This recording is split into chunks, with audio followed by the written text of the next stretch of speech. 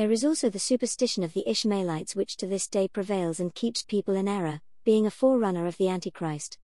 They are descended from Ishmael, was was born to Abraham of Agar, and for this reason they are called both Agarenes and Ishmaelites. They are also called Saracens, which is derived from Zapaksful, or destitute of Sarah, because of what Agar said to the angel, Sarah hath sent me away destitute.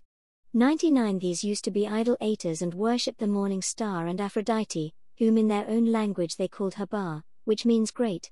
1 And so down to the time of Heraclius they were very great idolaters. From that time to the present a false prophet named Muhammad has appeared in their midst. This man, after having chanced upon the Old and New Testaments and likewise, it seems, having conversed with an Arian monk, 101 devised his own heresy. Then, having insinuated himself into the good graces of the people by a show of seeming piety, he gave out that a certain book had been sent down to him from heaven. He had set down some ridiculous compositions in this book of his and he gave it to them as an object of veneration. He says that there is one God, creator of all things, who has neither been begotten nor has begotten. 102 He says that the Christ is the Word of God and His Spirit, but a creature and a servant, and that he was begotten, without seed, of Mary the sister of Moses and Aaron. 103 4, he says, The Word and God and the Spirit entered into Mary and she brought forth Jesus, who was a prophet and servant of God. And he says that the Jews wanted to crucify him in violation of the law, and that they seized his shadow and crucified this. But the Christ himself was not crucified, he says, nor did he die, for God out of his love for him took him to himself into heaven. 104 And he says this, that when the Christ had ascended into heaven, God asked him, See, O Jesus, didst thou say, I am the Son of God and God? And Jesus, he says, answered, Be merciful to me, Lord. Thou knowest that I did not say this, and that I did not scorn to be thy servant. But sinful men have written that I made this statement, and they have lied about me and have fallen into error. And God answered and said to him, See, I know that thou didst not say this word. 105 There are many other extraordinary and quite ridiculous things in this book which he boasts was sent down to him from God. But when we ask, and who is there to testify that God gave him the book? And which of the prophets foretold that such a prophet would rise up? S. They are at a loss. And we remark that Moses received the law on Mount Sinai, with God appearing in the sight of all the people in cloud, and fire, and darkness, and storm. And we say that all the prophets from Moses on down foretold the coming of Christ and how Christ, God, and incarnate Son of God, was to come and to be crucified and die and rise again, and how he was to be the judge of the living and dead. Then, when we say, See how is it that this prophet of yours did not come in the same way, with others bearing witness to him? And how is it that God did not in your presence present this man with the book to which you refer, even as he gave the law to Moses, with the people looking on and the mountain smoking, so that you, too, Might have certainty? 3. They answer that God does as he pleases. This slash we say, we know, but we are asking how the book came down to your prophet. 3. Then they reply that the book came down to him while he was asleep. Then we jokingly say to them that, as long as he received the book in his sleep and did not actually sense the operation, then the popular adage applies to him, which runs, You're spinning me dreams. 106 When we ask again, how is it that when he enjoined us in this book of yours not to do anything or receive anything without witnesses, you did not ask him, First do you show us by witnesses that you are a prophet and that you have come from God, and show us just what scriptures there are that testify about you they are ashamed and remain silent. Then we continue, although you may not marry a wife without witnesses, or buy, or acquire property, although you neither receive an ass nor possess a beast of burden unwitnessed, and although you do possess both wives and property and asses and so on through witnesses, yet it is only your faith and your scriptures that you hold unsubstantiated by witnesses. For he who handed this down to you has no warranty from any source, nor is there any one known who testified about him before he came. On the contrary, he received it while he was asleep. Moreover, they call us hetaeriasts, or associators, because, they say, we introduce an associate with God by declaring Christ to the Son of God and God. We say to them in rejoinder, the prophets and the scriptures have delivered this to us, and you, as you persistently maintain, accept the prophets. So, if we wrongly declare Christ to be the Son of God, it is they who taught this and handed it on to us. But some of them say that it is by misinterpretation that we have represented the prophets as saying such things, while others say that the Hebrews hated us and deceived us by writing in the name of the prophets so that we might be lost. And again we say to them, As long as you say that Christ is the Word of God and Spirit, why do you accuse us of being hetaeriasts? For the Word, and the Spirit, is inseparable from that in which it naturally has existence. Therefore, if the Word of God is in God, then it is obvious that He is God. If, however, he is outside of God, then, according to you, God is without word and without spirit. Consequently, by avoiding the introduction of an associate with God, you have mutilated him. It would be far better for you to say that he has an associate than to mutilate him, as if you were dealing with a stone or a piece of wood or some other inanimate object. Thus, you speak untruly when you call us hetaeriasts, we retort by calling you mutilators of God. They furthermore accuse us of being idolaters, because we venerate the cross, which they abominate. And we answer them, How is it, then, that you rub yourselves against a stone in your Kaaba 107 and kiss and embrace it? Then some of them say that Abraham had relations with Agar upon it, but others say that he tied the camel to it, when he was going to sacrifice Isaac.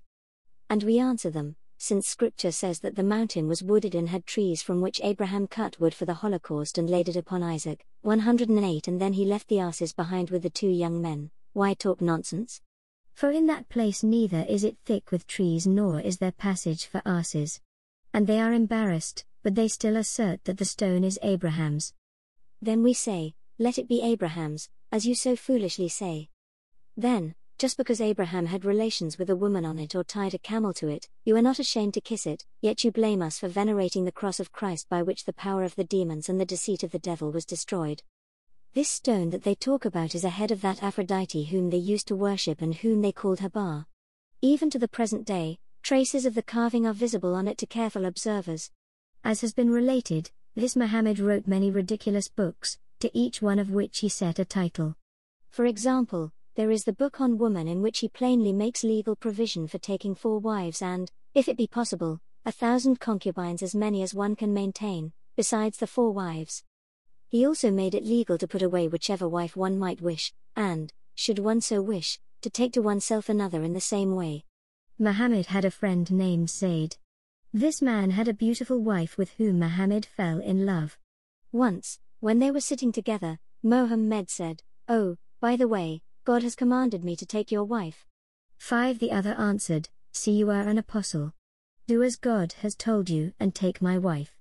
Rather to tell the story over from the beginning, he said to him, God has given me the command that you put away your wife.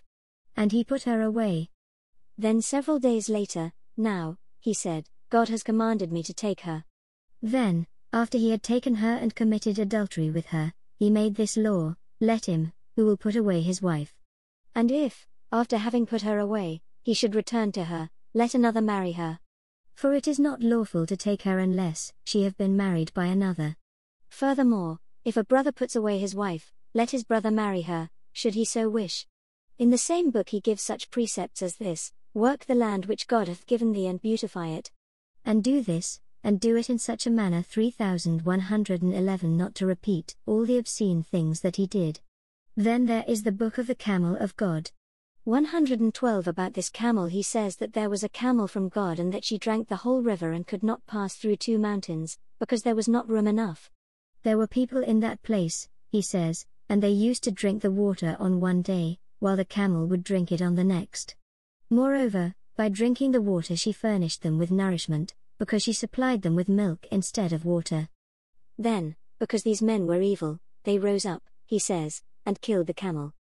However, she had an offspring, a little camel, which, he says, when the mother had been done away with, called upon God and God took it to himself. Then we say to them, where did that camel come from?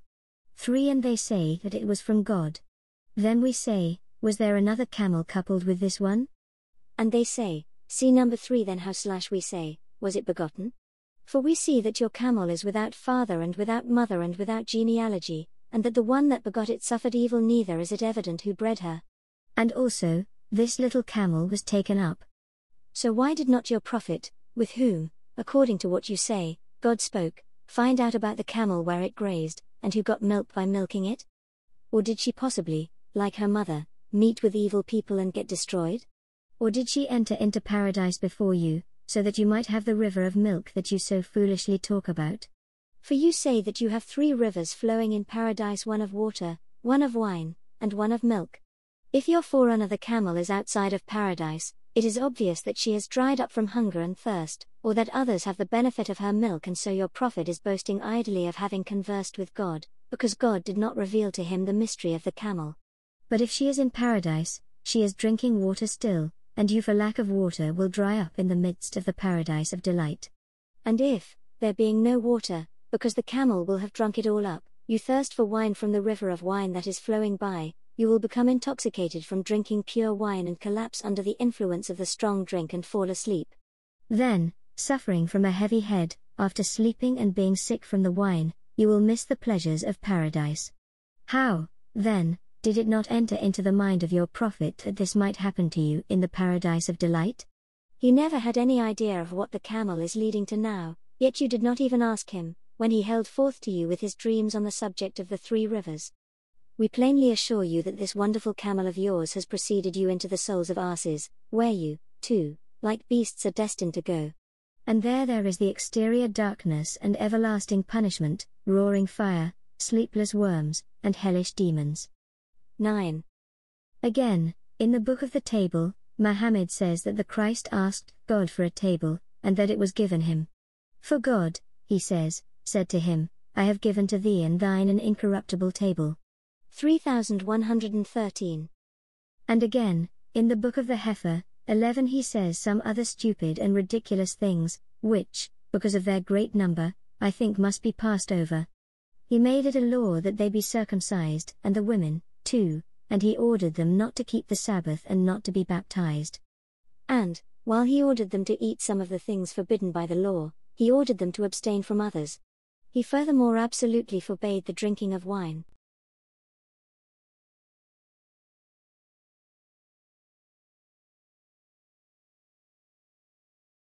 Dialogue between a Christian and a Saracen. A Christian was asked by a Saracen, Whom do you say is the cause of good and evil? The Christian replied, We say that no one but God is the cause of all good, but not evil. Saracen. Then whom do you say is the cause of evil? Christian. The devil, who is such by his own decision, and also we men. Saracen. By virtue of what? Christian. By virtue of our free will. Saracen. What? You mean to say you have free will and can do anything you wish? Christian. I was created by God with a will that is free. I may act well or badly, that is, I may do good or evil, if I do evil, I am punished by the law of God, but if I do good I do not fear the law, but I am rewarded and obtain mercy from God. Adam, the first man, was likewise created by God with free will, but the devil deceived him and he sinned, so God cast him down from his proper status. But perhaps you will ask, in an effort to thwart me, what are the goods and evils of which you speak? The goods are the glorification of God, prayer, almsgiving, and the like, and the evils are fornication, robbery, murder, and the like. Now, if you want to make God the cause of evil as well as good, he appears, in your view, unjust, which he is not.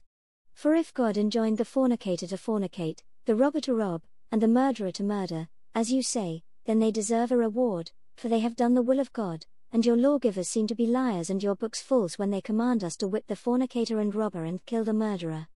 Then the Saracen asked, Do you say that a Christian who does the will of God is good or evil? But the Christian, knowing his craftiness, replied, I know what you are getting at. Saracen. Then you may tell it to me. Christian. You want to ask me, did Christ suffer by his will or not? And if I answer you, he suffered by his will, you will reply, Ye off. Then honor the Jews, for they did the will of your God. Saracen. Yes, that is most assuredly what I wanted to ask you, and if you have anything to say on this matter, I should like to hear it. Christian. You use the word will, I would be inclined to say permission, subsistence, and forbearance. Saracen. How could you demonstrate this? Christian. If you or I are sitting or standing, can either of us rise or be moved without the power and will of God? Saracen. By no means. Christian. And when God said, Thou shalt not rob, fornicate, or murder, he clearly did not want us to rob, fornicate, or murder? Saracen.